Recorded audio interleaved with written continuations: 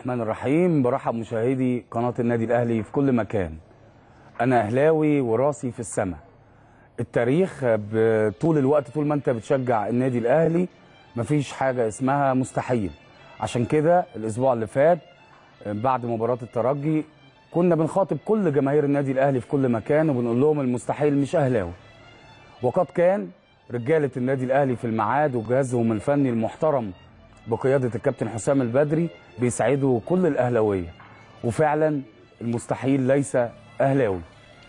امبارح كان يوم عظيم لكل جماهير النادي الأهلي. وكالعادة الأهلي مصدر الفرحة مصدر البسمة مصدر السعادة. طول الوقت وانت بتشجع النادي الأهلي بتراهن عليه. وهكون متحيز أكتر في بداية الحلقة النهاردة للنادي الأهلي بشكل كبير جدا جدا جدا خصوصا النادي الأهلي فخر لينا كلنا. واللي يراهن على النادي الأهلي طول الوقت لازم يكسب. النادي الأهلي اللي عمله امبارح يدرس يدرس في كل مدارسنا. لو عايز إرادة تحدي ترفع راية النصر القتال كل حاجة النادي الأهلي بيعلمها لنا. النادي الأهلي مش الدقيقه 90 بقت 120 والدقيقة 96 النادي الأهلي كمان بقى التحدي والإرادة ومفيش حاجة اسمها مستحيل مع كل الأجيال. من 1907 ل 2017 كل يوم النادي الأهلي بيدي درس للجميع. واللي ما بيشجعش الأهلي من وجهة نظري خسر كتير جدا جدا جدا. اللي عمله النادي الأهلي امبارح في المباراة وهتكلم بشكل مختلف شوية. في ناس أو جماهير أو نقاد أو مواقع مش واخدة بالها من نقاط مهمة. دايما النادي الأهلي لما بيجيب هدف في نهاية شوط يجي يقول لك الهدف ده رجع النادي الأهلي في المباراة. اللي عمله النادي الأهلي دخل ما بين الشوطين وهو خسران واحد وهو خسران. فالطبيعي اللي ينزل الشوط الثاني في ظل الجماهير وبيلعب خارج الأرض يبقى فيه إحباط والمهمة بتتصعب. عشان كده مرة تانية وتالتة ومليون المستحيل مش أهلاوي. شخصية النادي الأهلي كانت في الميعاد.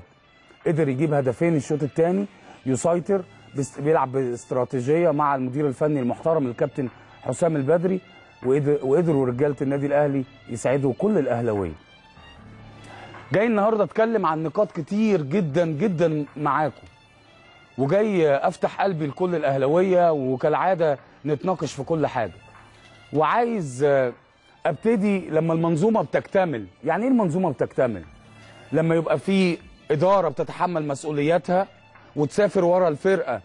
وما تخافش إن المباراة يبقى 50 60 وأنا دايما قلت لحضراتكم مليون مرة لما بنناقش حاجة بتتناقش كده بالوضع اللي إحنا شايفينه. مفيش حاجة اسمها مواربة اللي أنت تقعد تتكلم على حاجة وتنسى حاجة. زي ما هنعرض في الحلقة النهارده. المنظورة المنظومة بتكتمل لما جماهير النادي الأهلي بتدخل التتش. وفي وقت صعب جدا واتنين اتنين وفي ناس بتصدر إحباط. للجهاز الفني واللاعبين والكل أهلاوي. أيوه ده حصل أيوه حصل. لكن الأهلي ما بيرميش الفوطة. فاكتملت المنظومه الأهلاوية بوجود جماهير النادي الأهلي جوه التتش والشعارات اللي قالوها والهتافات اللي قالوها. وفي وقت وفي وقت في ناس قالت كلام صعب صعب مهمة صعبة. آه وكان في ناس تنتقد بعض اللاعبين للأخطاء الفردية اللي بتحصل وكل الناس بتغلط.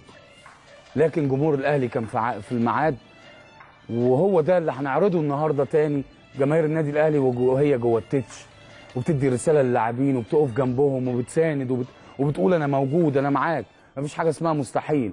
الروح إحنا معاكم وقالوا هتافات عرضناها هنا كانت حاجة محترمة حاجة مشرفة ودايما جماهير الأهلي في الميعاد. نروح نشوف.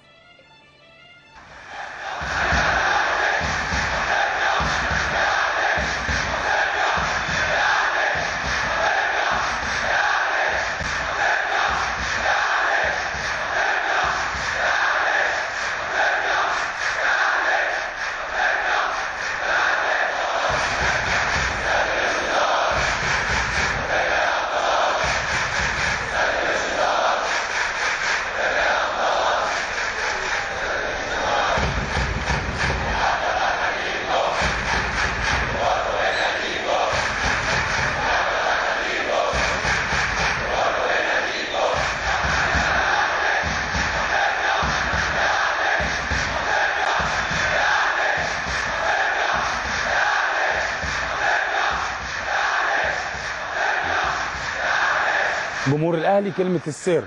مش هكون بعيد عنكم طالما المواقف المحترمة موجودة. عايز أتكلم على آه، كابتن حسام البدري في الكواليس وأنا قلت لكم اللي عايز يكسب مباراة بالشكل ده يبقى في سيناريوهات يبقى في في الكواليس. كان في تدريبتين صباح صباحا ما حدش يعرف عنهم حاجة. وابتدى يحط خطته وابتدى يتكلم مع لعيبته وده من الذكاء اللي إحنا قلناه. عشان كده بمساندة جماهيرك بمجلس الإدارة المتمثل في المهندس محمود طاهر سافر وتحمل مسؤولياته وما قالش 50 50 المباراة. لا هنسافر في الوقت اللي كان فيه ناس بتهاجم وازاي ومن إمتى وبيسافروا ويروحوا ليه والكلام ده كان موجود. مدير فني تحمل مسؤولياته بيحقق أرقام ولا أروع ولا, ولا أروع. ولعيبة رجالة بمعنى الكلمة اللي أنت تقدر تكسب فريق الترجي خارج الأرض. عشان كده عايز أقول نقطة مهمة جدا. أتمنى اللي شبابنا الصغير وهو بيتعلم تعلموه إرادة النادي الأهلي اللي موجودة. تعلموه إزاي المؤسسة العظيمة الكبيرة اللي كلنا بنحترمها. اللي ما بنشوفش حاجات في أمور غريبة بتحصل في الثلاث أربع سنين اللي فاتوا. والأهلي ما بنشوفوش بيعمل الكلام ده. وما بنشوفوش بيعمل حاجة خارج النص. وما بنشوفوش بيعمل أمور مش طبيعية. لكن لما بتتعادل بتقفل على نفسك والمنظومة بتكتمل بجماهيرها وتروح تحقق المطلوب منك. عشان كده والله مش تحيز ده اللي الناس كلها شايفاه. وده اللي أنا الناس اللي كنت قاعد في وسطهم بتفرج الناس كلها الأهلي لما جاب الهدف بتاعه صوت جماهير مصر كلها وصل للعيبة في رادس. إيه الفرحة اللي في مصر دي كلها؟ حاجة تشرف حاجة تفرح النادي الأهلي. عشان كده بطالب اللي بيعملوا النادي الأهلي ده يدرسوه للأولاد الصغيرين اللي عايز تحدي اللي عايز إصرار اللي عايز يبقى بطل اللي عايز روح النصر اللي عايز يجيب يبقى بطل. الأهلي بيعمل كده على مدار تاريخه. أيوه الأهلي بيعمل كده. عشان كده عايز أروح أشوف كمان قبل ما أتكلم على الجهاز الفني واللاعبين والأمور دي كلها عايز أروح للجماهير. ووديهم حقهم. لما تسافر ورا فرقتك مش هقول لك جبت الفلوس منين ولا هقول لك اشتغلت إيه عشان تجيب الفلوس ولا هقول لك الكلام الفارغ اللي كنتوا بتسمعوه سنين طويلة. هقول لك كلمة واحدة اللي انت راجل بتتحمل المسؤولية ومخلص لناديك. دي كلمة الحق اللي لازم تتقال لكم.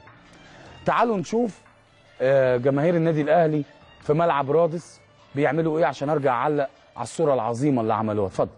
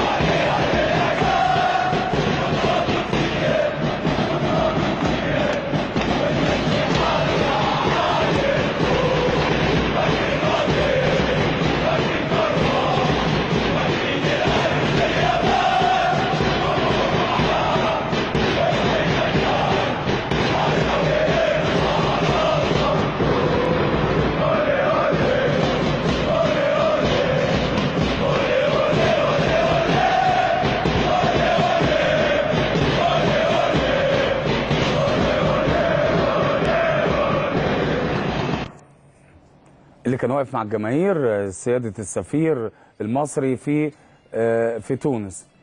وجماهير النادي الأهلي بتغني بتدي رسالة للاعبتها بتسافر ورا فرقتها. ده العدد المفروض لو إحنا بنشتغل صح وما هاجمناش جماهير سنين طويلة. والمفروض لما يبقى في خروج عن النص دورنا كإعلام ودور رياضيين ودور المسؤولين ودور رؤساء الأندية اللي نقعد نحل مع بعض. ونقعد نستوعب ونشوف الأخطاء ونتكلم ونعالج. من غير ما نقول أمور صعبة ومش عارف إيه وأمور استثنائية ونفس الكلام اللي كان بيتقال سنين طويلة. دي كانت تمرينة قبل المباراة غير يوم المساندة هنا في القاهرة. هم عملوا كده بس؟ لا. بالمناسبة كابتن فوزي البنزرتي اللي أنا بحترمه جدا واحد من المدربين العظام كان لي تصريح استفز لعيبة النادي الأهلي ولعيبة الأهلي لما تستفز خاف منهم. وقال لك أبو تريكة اعتزل لكن روح الأهلي موجودة ليوم الدين. أبو تريكة نجم النجوم أبو تريكة صانع البهجه البهجه صانع الفرحة معشوق الأهلاوية أكيد. وجيله المحترم اللي كان معاه وحقق بطولات وإنجازات لا حصر لها تقدرش تعدها. وعدد بطولات كتير جدا. فقال لك أبو تريكة خلاص اعتزل. عشان لكن روح الأهلي عمرها ما هتعتزل. جماهير الأهلي حضراتكم أنا بقول لكم بخبرة سنين طويلة. أنا عايز الصورة موجودة يا جماعة عشان أعلق بس على حاجة. بخبرة سنين طويلة داخل النادي الأهلي. عارفين يعني إيه تعمل الصورة البسيطة اللي أنتوا شايفينها دي؟ تسافر بره مصر وتجهز للصورة دي. وعددك مش كبير. وتطلع. بنفس مساحة المدرج دي صعبة جدا جدا جدا صدقوني. بس الناس عارفة بتعمل إيه. عشان كده قلت لكم بتمنى أرجع ألعب تاني. الأيام دي جالي الشعور ده ما جاليش ست سنين. من ساعة لما الواحد بطل. النهارده وقلتها لكم من أسبوع الواحد نفسه يشوف الكلام ده ويبقى موجود وسط جماهير. مكتوب إيه؟ من جماهير النادي الأهلي. شيء شيء لا نفقده ابدا. روح الفانيلا الحمراء ودي رسالة للكابتن فوزي البنزرتي لو فقدنا تريكا وفقدنا كل النجوم عمرنا ما هنفقد الروح ابدا. وهي دي الرسالة المحترمة وهو ده النادي الأهلي. طول ما الروح الفانيلا الحمراء موجودة ما تخافش على الأهلي. طول ما جمهوره العظيم ده موجود ما تخافش على الأهلي. كمان أنا بدي ليه الجماهير النهارده حقها. عشان في ناس بتعبس بالنادي الأهلي. في ناس بتنصب نفسها هي كل حاجة وهي اللي, اللي بتتكلم كتير وهي اللي بتساند وهي اللي مؤثرة وهي الصفحات وهي وهي. لا. جمهور الأهلي في المدرج اللي بيروح برج العرب رايح جاي اللي بيجي من أسوان. واللي بيجي من الشرقية وبيجي من القليوبية واللي بيجي من سوهاج واللي بيجي من البحيرة واللي بيجي من دمنهور مش قاعد يبث فتن. آه هجوم على حسام البدري هجوم على نجومه هجوم مع كل ليل ونهار على مجلس الإدارة. إيه ده؟ أعرف اكتشفت واحد زملكاوي حاطط لي هو زملكاوي يعني صديق حاطط لي صورة الكابتن صالح سليم على البروفايل وعمال يشتم. مين نسمعه؟ لكن الجمهور ده ده هيتحط على الراس وتشيد بيه لموقفه المحترم.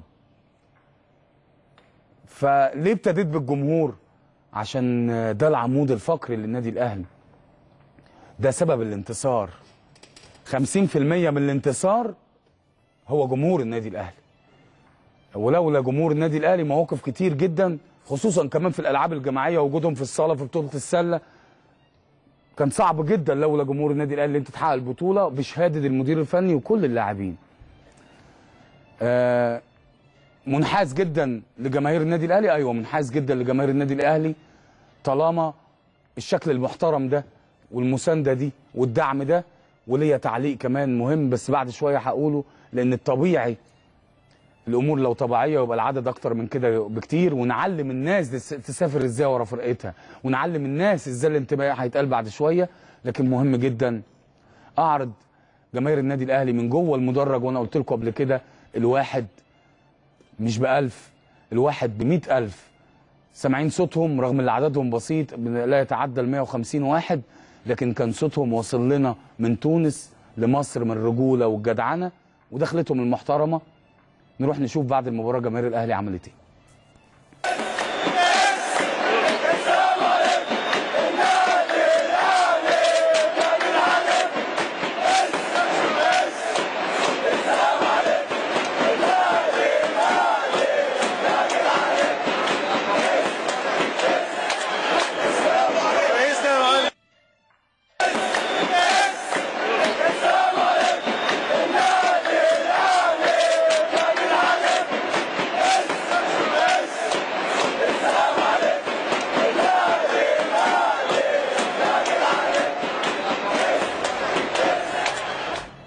ألف مبروك جماهير النادي الأهلي المحترمة بكل كل التحية والتقدير لجماهير النادي الأهلي اللي سافرت ورا فرقتها واللي هتسافر تروح مباراة النجم الساحلي انتهت المباراة بفوز النجم الساحلي بهدفين للا شيء وكده.